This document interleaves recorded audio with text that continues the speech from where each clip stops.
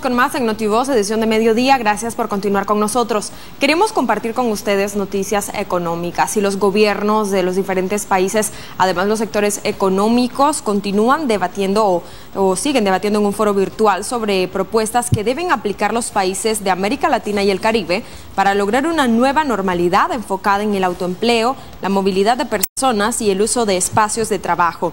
Datos preliminares indican que a causa de la pandemia de COVID-19, México ha perdido alrededor de 150 mil empleos formales en sectores como la construcción, comercio, turismo, manufactura y extracción minera.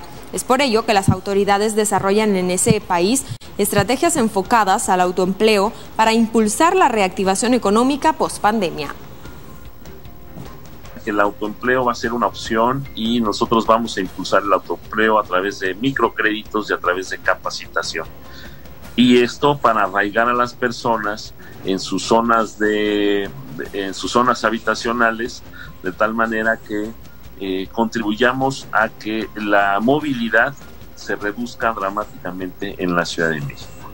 Tenemos que eh, construir una nueva economía, una economía fundada en la salud pública, sobre todo. Cuando estamos hablando en las principales ciudades de América Latina de millones de empleos destruidos, tenemos que pensar en millones de empleos creados de vuelta.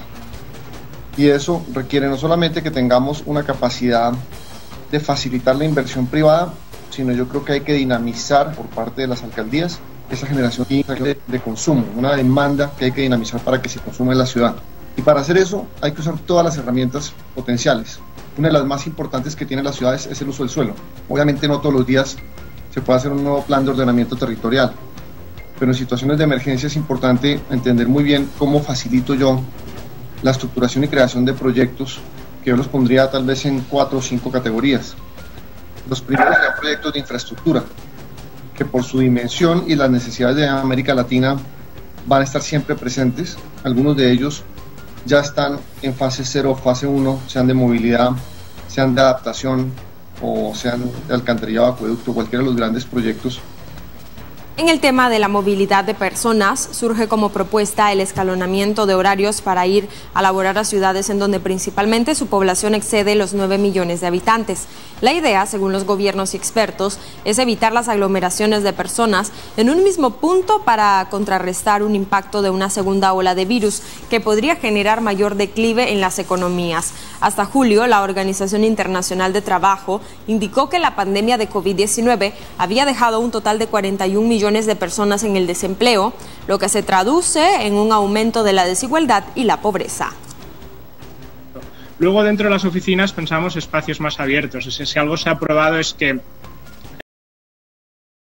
la capacidad de infección más restringida en espacios abiertos o semiabiertos donde hay circulación de aire, donde digamos más exposición al exterior. Uh, yo pienso que va, vamos a ver un giro um, en los espacios de oficina más hacia espacios que, con más interacción con el exterior, más atrios, más terrazas, uh, más patios interiores, más jardines.